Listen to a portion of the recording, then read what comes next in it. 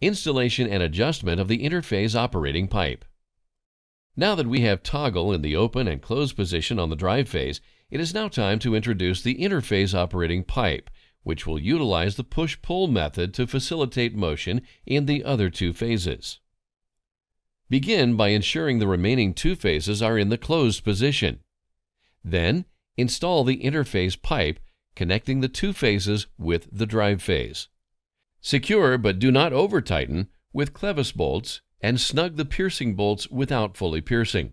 Match mark the clevis connections and test operate all three phases, noting if further adjustment is needed. Shorten or lengthen the interphase pipe by 1 4 inch increments until a full open and close position is achieved for all three phases with a full toggle of the operating device. Tighten all pipe securing bolts minus the piercing bolts at this time.